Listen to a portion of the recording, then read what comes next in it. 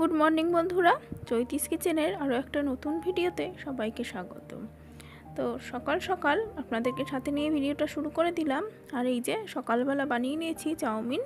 তো এটা বর খেয়ে অফিসে চলে গেছে আর মেয়েকেও এটা টিফিনে দিয়ে দিয়েছি। আর এবারে আমাদের খেয়ে নেওয়ার পালা। তো একটু সস দিয়ে ভালোভাবে মিশিয়ে তারপরে এখন প্লেটে নিয়ে নিচ্ছি খাবার জন্য। তো চলুন তাহলে ব্রেকফাস্টটা করে নিই। আর তারপরে ভিডিওটার সাথে থাকুন। আশা করি আপনাদের ভালো লাগবে।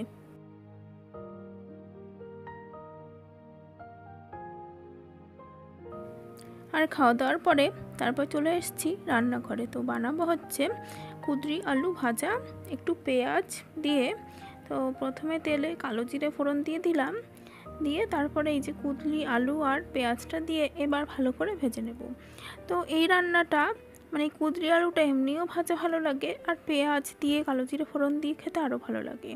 আর করব লাউ শাক, তো লাউ শাকটাকে আমি একটু জলে ভাপিয়ে রেখে দিয়েছি রান্না সুবিধার জন্য। তবে জল কিন্তু ফেলিনি। আর লাউ শাকে এই যে দেবো আলু, বেগুন আর কুমড়ো। আর এদিকে মাছটা ফ্রিজ থেকে বার করে জলে ভিজিয়ে রেখেছি, কারণ প্রচুর বরফ হয়ে গেছে মাছে। তো এই যে এদিকে ভাজাটা আমার প্রায় হয়ে এসেছে, আর এর মধ্যে একটু ছোলা দিয়ে দিয়েছি। এই যে ভাজাটার মধ্যে হয়ে গেছে। আর এবারে লাউ শাকটা করব, তার জন্য বড়ি ধুয়ে একটু নুন হলুদ মাখিয়ে নিয়েছি। আর এবারে বড়িটা ভেজে নিচ্ছি।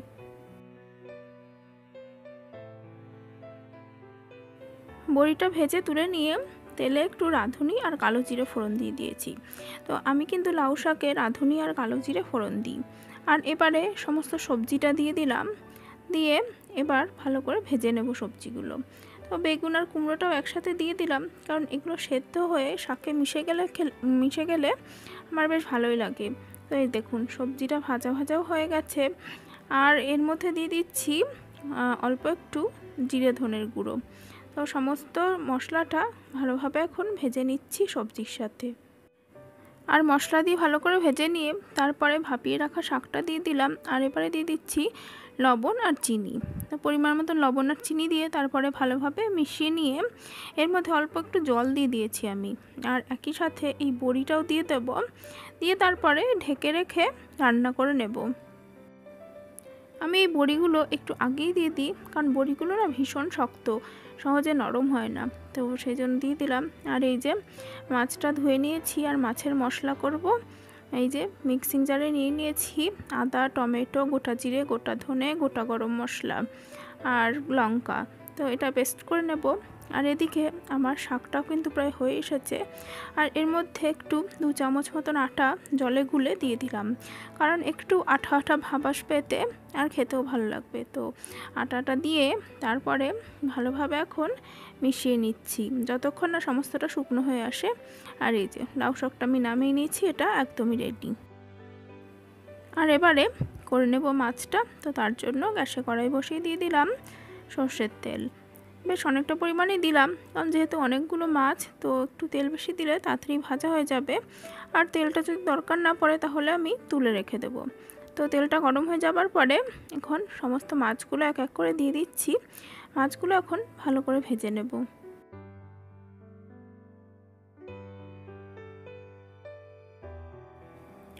তো মাছগুলো কিন্তু আমার প্রায় ভাজা হয়ে গেছে। আর খুব বেশি কড়া করে ভাজিনি হালকায় ভেজেছি। তো মাছগুলো এখন তুলে নিচ্ছি।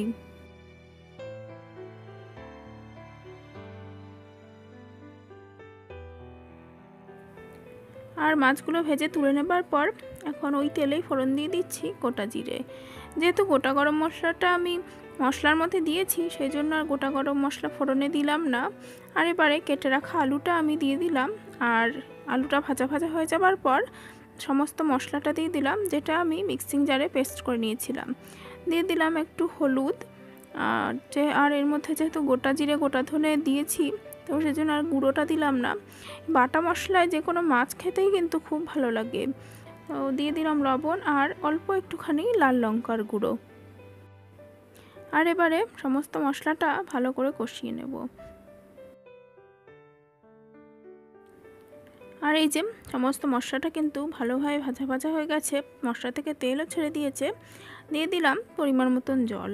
তবে এই রান্নাটা, আজকে মাছটা একটু ঝোলটা ঘন রাখব, এই শোল মাছটা আমার কিন্তু একদম পাতলা ঝোল, বেশি ভালো লাগে না। তো দেখুন, সমস্ত ভাজা মাছগুলো আমি একবারে দিয়ে দিলাম, আর এবারে খুব ভালোভাবে ফুটিয়ে নেব। আর হ্যাঁ লবণটা অবশ্যই আমি চেক করে নেব।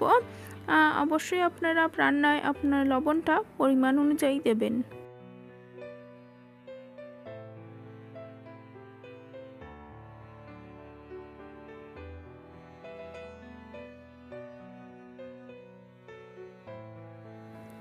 আর আমি অল্প একটু লবণ দিয়ে দিলাম। তো এই যে দেখুন, ঝোলটা কিন্তু ভালোভাবে ফুটে উঠেছে। আর একটু ফুটিয়ে আর একটু ঘন করে তারপরে নামিয়ে নেব। তো এই যে, ঝোলটা কিন্তু বেশ ঘন হয়ে এসেছে, এর মধ্যেই ঠান্ডা হলে আর একটু বসে যাবে। এই যে, ঝোলটা আমি নামিয়ে নিয়েছি রঙটা কিন্তু দারুণ এসেছে আর গরম ভাতে কিন্তু দারুণ লাগবে। আর বন্ধুরা, আজকের ভিডিওটা এখানেই শেষ করব। ভিডিওটা যদি ভালো লেগে থাকে, তাহলে অবশ্যই ভিডিওতে লাইক দেবেন কমেন্ট করবেন। আর যারা ইউটিউব থেকে দেখছেন, তারা অবশ্যই চ্যানেলটি সাবস্ক্রাইব করে পাশে থাকবেন। আর আমার যে সকল বন্ধুরা ফেসবুক থেকে দেখছেন, তারা অবশ্যই আমার ফেসবুক পেজটিকে লাইক দিয়ে ফলো করে পাশে থাকবেন। আর ভিডিওটা অবশ্যই লাইক করে দেবেন। অনেক অনেক ধন্যবাদ বন্ধুরা।